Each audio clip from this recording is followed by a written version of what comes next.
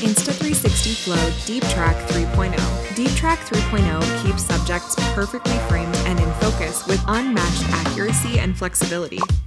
Connect your flow in the Insta360 app. There are three ways to start tracking. Press the trigger button once, and Flow will automatically start tracking the subject in the center of the screen. In the shooting page, select a subject to track. To stop tracking, press the trigger button.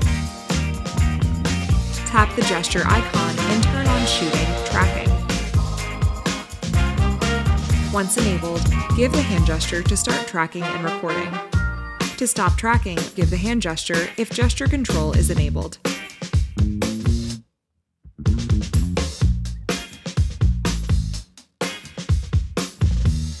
Deep Track 3.0 supports the following functions for more creative shooting. Custom framing. You're no longer limited to dead center framing. Use the joystick to adjust the frame as you desire. Auto Zoom. Select a subject to track and tap Auto Zoom. Flow will automatically zoom in or out according to the position of the subject, so they always stay the same size. Dolly Zoom. Zoom tracking.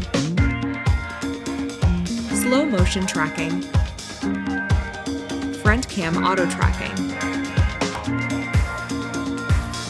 There are two tracking sensitivity options to choose from, depending on the shooting scenario. You can change this in Flow settings. For information on other features, check out the rest of our Flow tutorial videos.